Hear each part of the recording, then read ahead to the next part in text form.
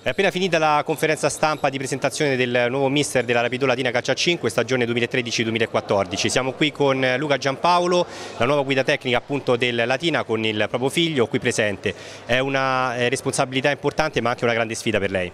Beh sì, sì sono a parte molto contento della, della presentazione che mi è stata fatta e, e, di tante belle parole espresse, quindi mi sento ancora più responsabilizzato, voglio fare bene. Ma a me è sempre piaciuto cercare di sviluppare il mio lavoro al massimo, ce la metto tutta, ho creato questo sito per così provare a dare una mano al movimento del futsal e i contatti mi stanno dando ragione, sono molto contento. Mi piace proprio applicarmi tutto il giorno al lavoro che faccio. Ci può dire com'è nato questo sodalizio? Chi ha fatto il primo passo e com'è andata? Ma diciamo che col Presidente della Starza ci, ci, incontriamo da diversi anni da avversari c'è sempre stata grande stima reciproca. Il Latina rappresenta oggi una delle società serie del panorama nazionale.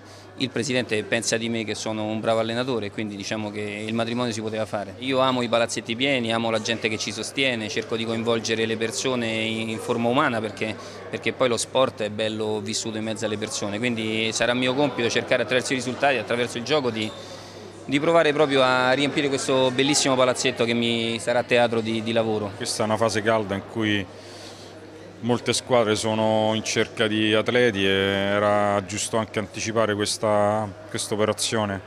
crediamo di aver scelto un allenatore che abbia la giusta esperienza di questa categoria, ha ottenuto sicuramente in questi ultimi anni dei risultati importanti eh, ma la grinta che piace a me, quindi spero veramente di aver fatto la scelta giusta, anzi ne sono convinto. Un momento particolarmente difficile, dobbiamo cercare di avere un budget sostenibile di questi tempi eh, dobbiamo superare la tempesta eh, sperando che arrivino momenti migliori. Adesso siamo convinti comunque già da, da nomi che abbiamo contattato di poter portare a Latina eh, nomi importanti al tempo stesso hanno capito il momento attuale e che possono anche eh, venire incontro a quelle che sono le esigenze economiche delle società di futsal in questo momento. Ci saranno sicuramente cinque stranieri come c'è stato nel passato e, e, poi vedremo se ci sarà qualche ritorno oppure sugli italiani le conferme che...